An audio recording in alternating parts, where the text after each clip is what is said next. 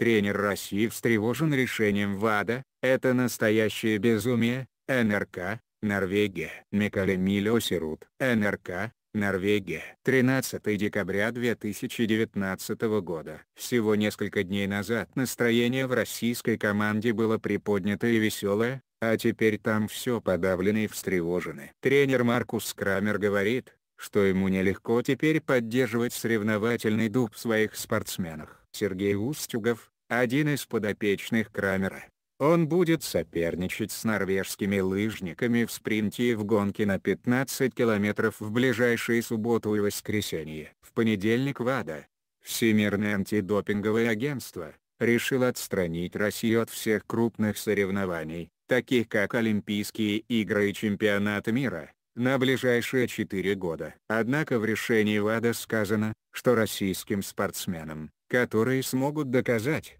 что не имеют отношения к допингу, позволит участвовать в турнирах в нейтральном статусе. Атмосфера уже не та, что раньше. Это касается не всех, но ситуация особенно сказалась на спортсменах постарше, рассказал Маркус Крамер. Маркус Чремер, НРК. Безумие немецкий тренер отвечает за обучение одной из трех российских команд. В группу Крамера входит в том числе и Сергей Устюгов поскольку Россия скорее всего подаст апелляцию в спортивный арбитражный суд. Он пока не хочет высказываться по этому делу слишком определенно, ведь до принятия окончательного решения еще есть время. Но, по его мнению, очень плохо, что его российские лыжники вынуждены жить в неопределенности. По словам Крамера, может пройти год, прежде чем они узнают наверняка, что с ними будет. Я очень встревожен этим решением потому что больше всех тут страдают именно спортсмены. Подозрения направлены на спортсменов, а не на тех, кто сидит в офисе. Если в офисе кто-то слишком поздно предоставил информацию или внес в нее изменения, что с этим могут поделать спортсмены? Это настоящее безумие, говорит он со вздохом. Встречался со спортсменами в среду для Крамера эта неделя была полна эмоциональных взлетов и падений. В воскресенье он наблюдал, как две российские команды победили Норвегию на эстафете в Лилихамере. В понедельник он отпраздновал день рождения, и в этот же день ВАДА вынесла свой суровый приговор россиянам. По семейным обстоятельствам до среды Крамер не мог поехать в Давос где в субботу и воскресенье продолжится Кубок мира. Поэтому в среду он встретился со своими спортсменами впервые после того, как решение ВАДА наложило ограничения в том числе и на российский лыжный спорт. Сергей уже не тот он не слишком часто обсуждает со Стюговым происходящее сейчас в руководящих кругах спортивного мира. Но он знает, что его ученик очень много об этом думает. В Лилихамере он был в отличном настроении. Но сейчас Сергей уже не тот,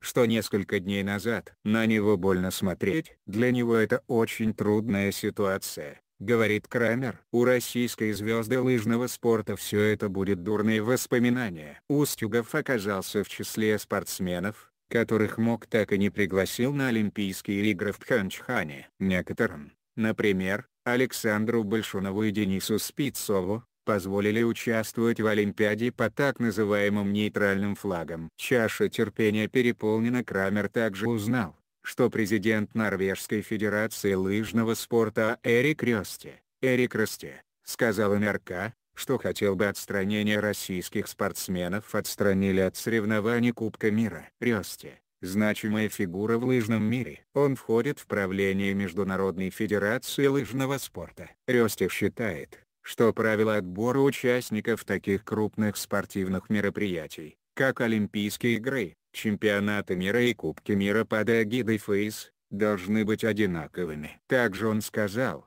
что в принципе против коллективного наказания, но сейчас чаша терпения просто переполнилась. В разговоре с НРК Рёсти подчеркнул, что если ФИС будет следовать линии ВАДА, спортсменов, которые смогут доказать, что не имеют отношения к допингу, никто отстранять не будет. Что будет с Остюговым? На этой неделе Рёсти позвонил Крамеру, чтобы получше объяснить ему, что он хотел сказать. Крамера устроила лишь часть аргументов норвежского президента Федерации лыжного спорта. У нас есть спортсмены, которые вообще никогда к допингу не имели отношения. Что будет с Устюговым? Что с Глебом Ретивых? Их не пустили на Олимпийские игры в Южной Корее. И до сегодняшнего дня нам так и не объяснили, почему. Должно быть на 100% ясно, что с ними произошло. Никого нельзя дисквалифицировать без объяснения причин. Поэтому я с ним не согласен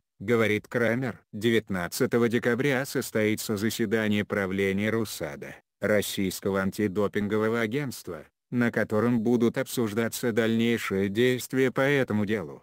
Там решат, будет Россия подавать апелляцию или нет. По словам бывшей конькобежки Светланы Журовой, ныне члена Комитета по международным делам Российской Госдумы, вероятно, Россия подаст апелляцию по поводу решения ВАДА в спортивный арбитражный суд. Материалы на СМИ содержат оценки исключительно зарубежных СМИ и не отражают позицию редакции на СМИ.